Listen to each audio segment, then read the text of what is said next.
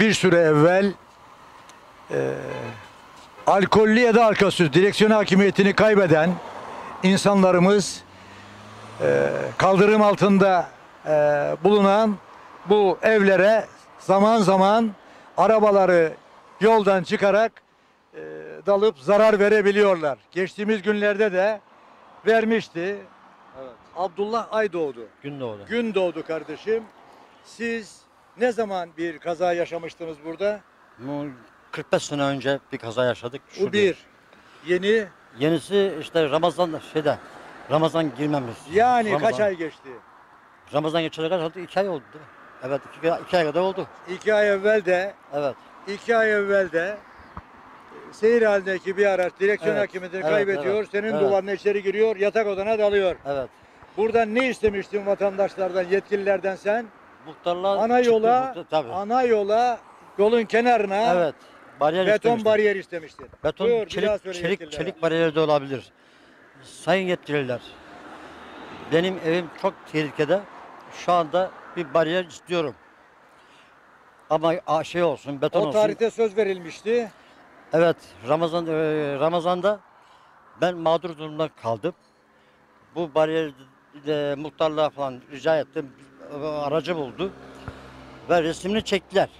Resim İsminizi çekildi. çekmesi önemli değil. Bariyer kondu mu konmadı mı? Konmadı. Şu anda Konmadı. konmadı. O zaman seçilmiş atılmış Ünyeli yetkililere diyorsun. Evet. Bu ara çok büyük tehlikeli. Tehlikeli bir barajda Ünye'nin Burunucu mevkii, Hasan. Baba mevkii diyoruz. Evet. Buradaki yetkililerin buraya beton bariyer koymasını Rica ediyorum. evet Rica sevgili ederim. seyirciler vatandaşımızın dili dönmüyor olabilir. Tabii. Bu devletin asıl sahibi milletin huzuru ve güveninden sorumlusunuz. Hala onu çok... Onun için, onun Evet. için, onun adına ben konuşuyorum. Onun için bu viraja mutlak surette beton bariyer vererek, beton bariyerler koyarak insanlarımızın can güvenliğini sağlamak Evet. sizlerin Evet. seçilmiş ve atanmışların asli görevidir diyor. Evet. Bunu bir an evvel bekliyoruz. Tabii tabii bekliyorum. İlla ki bekliyorum. Bu çelik bariyer de olabilir.